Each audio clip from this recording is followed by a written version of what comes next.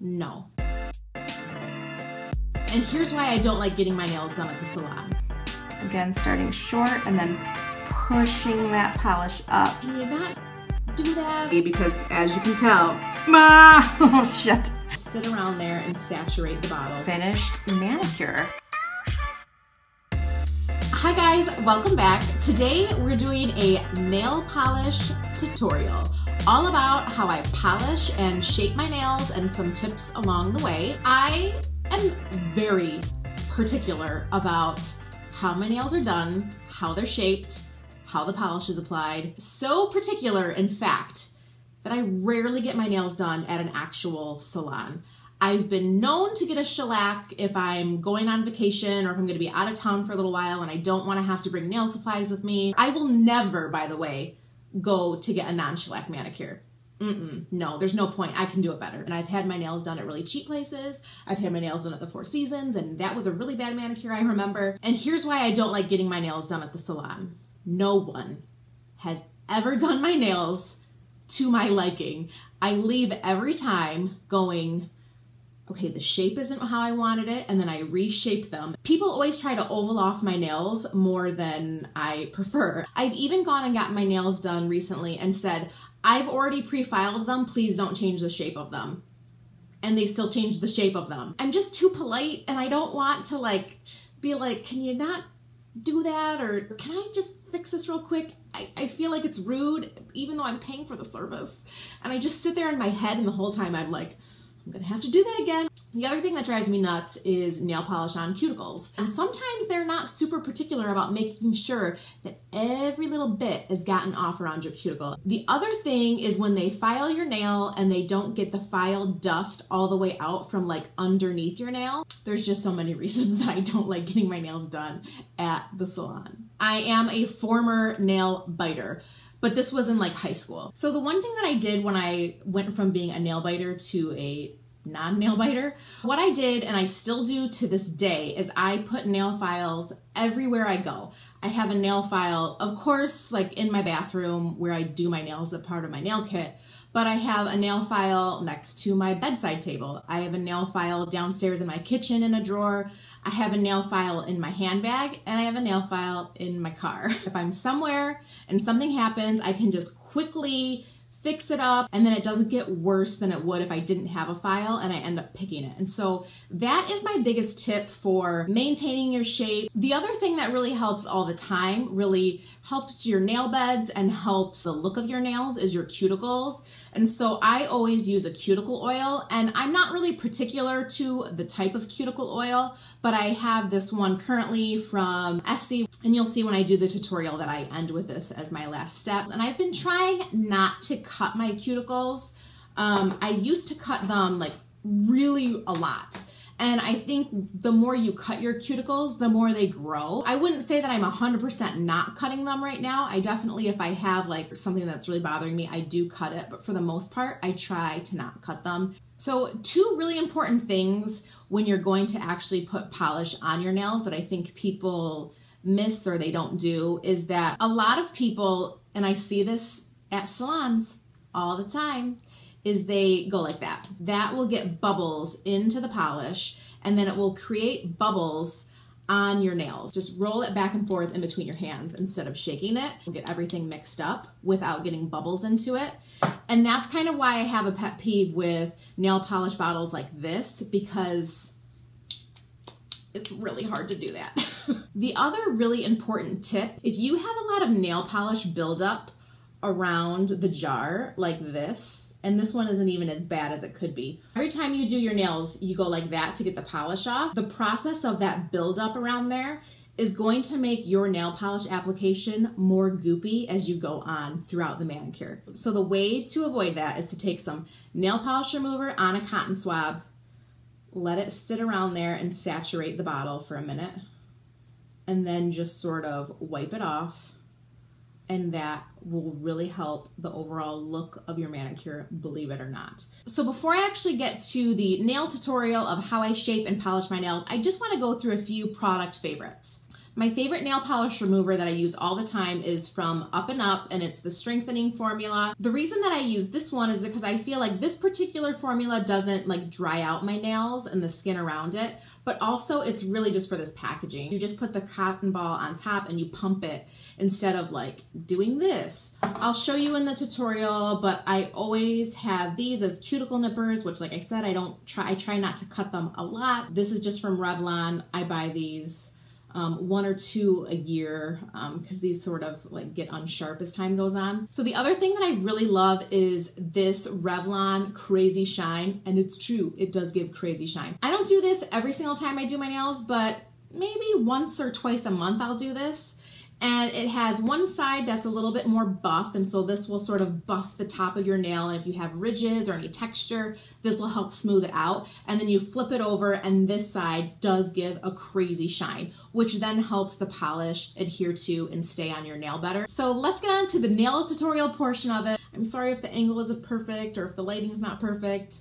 this is all new for me. So my nails are clean and dry right now. I just went over them with nail polish remover. For filing my nails, my nails kind of try to grow in an ovalish shape and I just feel like that doesn't look good on my hands. And so I tried to do like a squoval. So it's sort of squared off at the top and then curves in a little bit at the sides. So I basically just kind of either go through the sides first, like this one is actually pretty good. It's maintained its shape pretty well. I don't have too much that I need to refile right now. This one right here is has gotten much more round than I want it to be. What I'm gonna do is just really hold my file square with my nail and I'm just gonna try to really square this edge off because it's just a little too rounded to me right now. So I really like for the tip to be really pretty square so that when I set my nail file like directly against it, it's sort of squared with that. So it's really just following, you know, the flat edge of the file. And then I kind of round the edge just a teeny bit and my nails aren't in too bad a shape today. Just a few of them were a little crazy. I have this tool from Sephora, which I swear I've had for at least 15 years. I'll see if I can find something comparable. I don't even really push back my cuticles anymore, but I do, I do get cuticles that like stick onto my actual nail part, and so it's less about going this way than it is about like getting stuff off of my cuticles sort of this way and kind of almost going underneath the cuticle. I'll take these from Revlon and I'll just kind of go and see if I have like a stray cuticle. And that's really all I use this for. My cuticles aren't really that bad right now because like I said, I've been not cutting them as much. There's a little bit right here that I'll kind of try to get. So I'm gonna go through with nail polish remover just to clean that up and make sure that there's no like nail dust hanging out under my nail. I figured that for this tutorial, having a darker polish would be helpful. And so I'm gonna use the Essie Gel Couture in the color um, 400 Caviar Bar. So really, really deep navy. And with this, you know, I use this top coat and it doesn't call for a base coat and it's been fine. So you'll see that this brush is huge compared to normal brushes and I love it because it makes it very precise um, with how it goes around your cuticle and also the size of it. It's just, these are, this is the nicest brush I've ever used on a nail polish. Um, and so my method is I usually try to get a good amount of polish on the brush and I'm basically kind of almost setting the polish down and pushing the polish up towards my cuticle instead of placing the brush on my cuticle. And I don't know if you're gonna be able to see this. When I go around the sides, I sort of put the brush on the sides. But in terms of like actually, you know, going up to the cuticle, I just kind of try to push the polish with the brush instead of try to push the brush close to the cuticle and then go from there. So I sort of like get it three quarters of the way up and then slowly push it up. I'll try to go a little bit slower and show you on the next one. But then I uh, really like to try to make this pretty precise and so I always use an orange stick. I don't use orange sticks to push back my cuticles, but I use them to try to like make this sharper, make the edge sharp. And sometimes it works and sometimes it doesn't. So again, I'm not putting the brush and laying it down right next to the cuticle. I'm rather going a little bit short of the cuticle and then letting the nail polish sort of naturally push up itself. And that's how you get that really nice line around the cuticle. And most of the time, I don't even end up getting polish on my cuticles or on the sides. So let's try to show this again. Again, I'm starting just short and then I'm pushing the brush up. And then going down one side and down the other side. And then it's almost perfect. And then I'll go in the middle just to kind of fill it in. Again, starting short and then pushing that polish up. And because it's so much easier with this particular brand of polish and this brush, because it's so wide that this brush flares out to almost your whole entire cuticle. If you're using a normal Essie polish brush, it's not as easy. So I think that if you're not good at painting your nails and you haven't tried this polish, then definitely you'll become a rock star with this polish. And it's all about just being slow and steady. I'm not trying to be fast. It actually is a lot faster for me to kind of go slow with how I do this and not just scoop it and slap it on because then I don't have a lot of cleanup. And so I it's just faster to just sort of it's faster to go slow. So there is one hand done. I think there's gonna be a lot of shadow here. Oh, maybe if I angle my nail this way, there won't be. See how nicely that brush fits right there? I mean, it basically like mimics the shape of my cuticle bed. It's perfect. Bah, that's not perfect. But I will go in afterwards with nail polish remover and do that with my orange stick, so I'm not worried about that. And it's because I'm doing this at such a wonky angle that it doesn't feel right.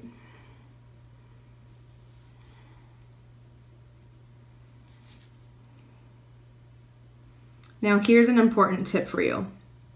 This doesn't often happen to me because, as you can tell, ah, oh shit. Just as I say that, oh my god, this is, this is a perfect friggin' example. So I was gonna say that if you flood your nail bed like this, which I kind of did here, here it just went on my skin and not on my nail and my skin. Here it's from my nail to my skin. So this is like gonna be harder to clean up. Actually, this will be fine. I'll clean this up afterwards. But if I were to do that up here and I were, you know how sometimes you get, like you flood your cuticle bed with polish, it's quicker to just get a cotton ball, take the polish off and start over. Because if you try to clean up your whole cuticle bed with polish, especially if you're using a dark polish like this, it's just gonna look like crap and I feel like you're just better off to start over again. So that's kind of what I do. But this is salvageable and so I think it'll be okay. But honestly, if you get it all over your cuticle, you just got to start over. Or at least I do. I mean, you can do whatever you want, but I'm showing you how I do it. And I've been known to do that. I just will start over. But slow and steady wins the race, I feel like, and always provides the best manicure.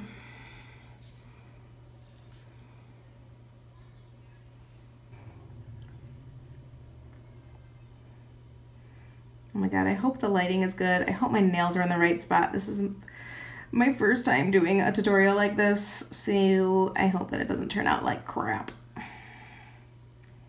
There we have it. Now, I know that I probably made that look really easy, but you have to understand I've been doing this for like 20 years. So um, I'm gonna go over it again with another light coat this one is quicker and obviously I have like the main base laid out so it's not as about being precise as just getting another coat down. Okay, now I'm gonna take a little bit of nail polish remover on an orange stick and try to clean up this edge. I also wanna try to clean up, I also wanna try to clean up this right here is like a little a little bit went out of the line. So now I'm gonna go through with the top coat. But this is a pretty good top coat. I feel like it goes on really nicely and it dries pretty fast. It stays pretty shiny.